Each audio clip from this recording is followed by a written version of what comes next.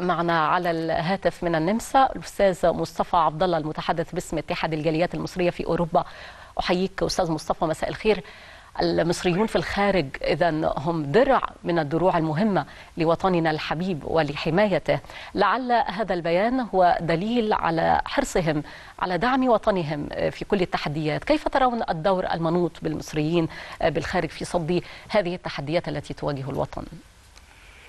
مساء الخير على حضرتك. وعلى السادة المشاهدين آه، اولا آه، يعني هذا البيان أنا لما أعلنت البيان قبل ما أعلن البيان ده آه، اتصلت بالأمانة العامة واتكلمت مع الأمانة العامة واتكلمت مع الرئاسة الدورية ونسقت مع كل أعضاء الجاليات لأن إحنا يعني اتحاد الجاليات بيضم حوالي 22 دولة أوروبية واتفقت معهم على الصياغة اللي أنا عملتها وعرضتها عليهم وبالتالي يعني بنعلن تأييدنا الكامل للقيادة السياسية المصرية وعلى رأسها طبعا الرئيس الوطني الرجل الشريف المخلص لشعبه والبلد والقوات المسلحة والشرطة بتاعته.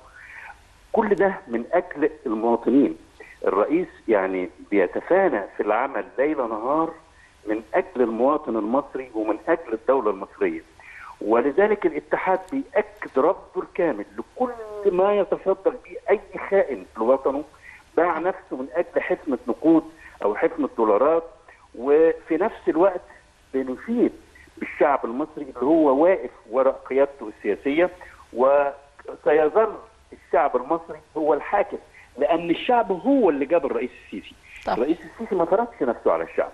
الشعب هو اللي طلب طلبه وهو اللي جابه بأكثر من كذا و30 مليون. ولذلك بيعي ال- الشعب المصري بيعي جيدا إن كثير من الخونة المدعومين من جهات آه، أجنبية وجهات مخابراتية وللأسف رؤساء دول معروفين للعامة بيحاولوا أثارة الفتنة وترويج الإشاعات الكاذبة حتى يثيروا الفتنة بين أبناء الشعب المصري ولكن لا ينجحوا في هذا اطلاقا لأن مصر محروسة من عند الله والقيادة السياسية فرض يعني قوتها من خلال النقاء والشفافية اللي بتتعامل بيها مع الشعب المصري ويكفي إن إحنا بنحارب الإرهاب على مستوى العالم مش على مستوى مصر فقط والعالم كله عارف صحيح. هذا الكلام ولذلك جموع المصريين في الخارج بيؤيدوا الرئيس بكل من ليس فقط في الخارج يعني. سيبقى الشعب المصري وأبناء مصر آه، يدا واحدة دوما سواء كانوا في الداخل أو الخارج أمام كل التحديات وفي النجاحات وفي كل شيء. بشكرك جزيل الشكر أستاذ مصطفى عبد الله المتحدث باسم اتحاد الجاليات المصرية في أوروبا.